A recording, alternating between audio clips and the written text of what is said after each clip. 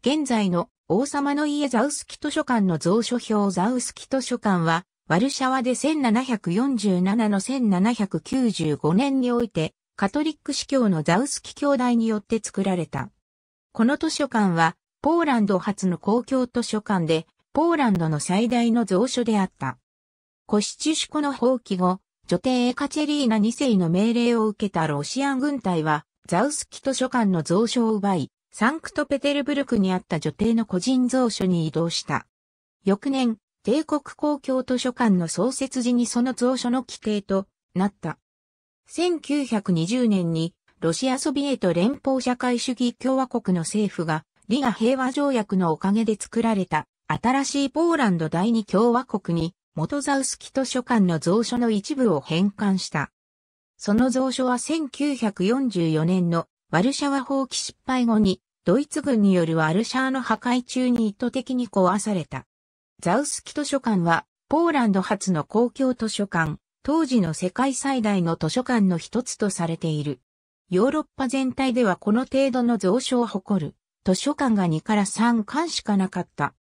初期の頃は図書館の蔵書は20万点ほどで、1770年代末には約40万点の印刷物、地図、写本や原稿まで拡張した。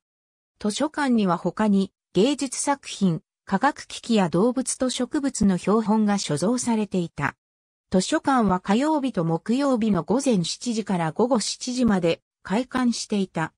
利用者は図書館で静かにするように、それからザウスキ兄弟のためにお祈りをするように頼まれた。本を図書館の外に持ち出すのは禁止だったにもかかわらず、本の盗難は大きな問題であり、最終的に司教の兄弟はローマ教皇に助けを求めた。ローマ教皇ベネディクトゥス14世が依頼に応えて、その図書館の本を取る者は破門されるという教皇直書を出した。だが、その脅しも完全に問題を解決したわけではない。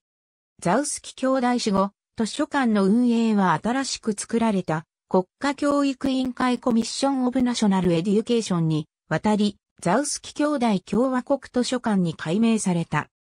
1774年に第二次ポーランド分割とコシチュシコの放棄の結果、ロシア女帝エカチェリーナ2世の軍は図書館の蔵書をすべて取り出し、サンクトペテルブルクへ送った。図書等の資料は、翌年の帝国公共図書館の創設時にその蔵書の規定となった。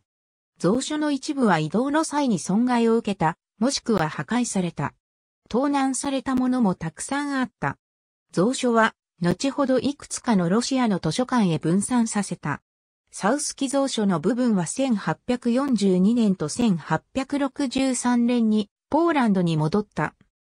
また、1920年にポーランドソビエト戦争とリガ平和条約の結果、ロシアソビエト連邦社会主義共和国の政府が蔵書の5万点程度の資料をポーランドに返還したが、1944年にワルシャワ放棄失敗後のワルシャーの破壊の際に、ドイツ軍はその資料を意図的に壊した。戦争後に残ったのはわずか1800点の原稿や写本と3万の印刷物であった。1821年に図書館の初代の建物はテラスハウスに改造された。その時、もともと内装に使われ、ポーランド分割の頃に隠されたポーランド君主の胸像は発見され、建物の正面に設置された。そのため、その建物は王様の家と呼ばれるようになった。その建物は第二次世界大戦の時にドイツによって破壊された。戦後、ポーランド人民共和国の下で建て直された。現在のポーランド国立図書館はザウスキ図書館の後を継ぐものとされている。ありがとうございます。